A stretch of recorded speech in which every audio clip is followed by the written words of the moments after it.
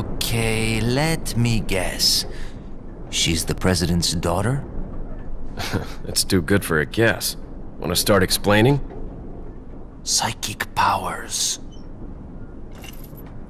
Nah, just kidding with you, amigo. I overheard one of the villagers talking something about the president's daughter in the church.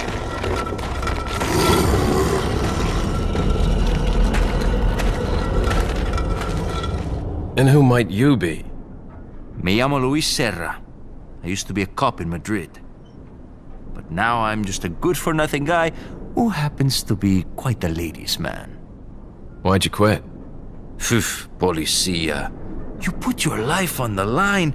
Nobody really appreciates you enough for it. Being a hero isn't what it's cracked up to be anymore. Used to be a cop myself. Only for a day, though. I thought I was bad. Somehow I managed to get myself involved with the incident in Raccoon City on my first day in the force. That is the incident with the viral outbreak, right? I think I might have seen a sample of the virus in a lab at the department. Hey boy, I'm not done. Do something, cop! After you!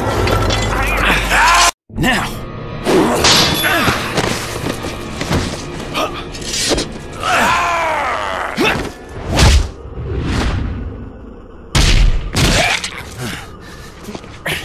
唉